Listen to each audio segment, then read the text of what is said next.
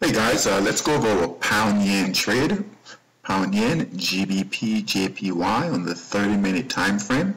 We had a break of resistance right here. So this resistance line right here, let's uh, bring that in.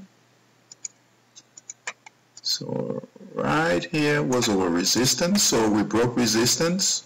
Uh, we got a buy signal here from the system. This blue arrow was our buy signal. Okay and price moved up nicely. We had a little bit of consolidation in here and we got new support and resistance line right here. All right, and uh, we broke resistance. We went ahead and we added a second position here. So now we're in two positions. Our first position was here and second position is right here. Okay, it's retraced a bit to the moving average, uh, but it looks good to um, to continue to move higher. Uh, what I like about this pair also is that on the daily time frame, it also broke big resistance right here. So right here we had resistance on the daily time frame now guys. This on the daily time frame, which is our foundation, right?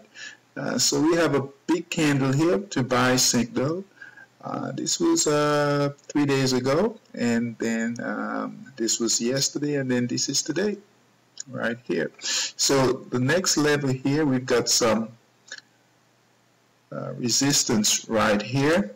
Okay, so right now we are testing on the daily time frame. Now we are testing um, some resistance right here. It looks like we'll probably break that resistance, and then we've got um, minor resistance up here but this pair looks good to um, to continue higher on the daily time frame on pound yen okay?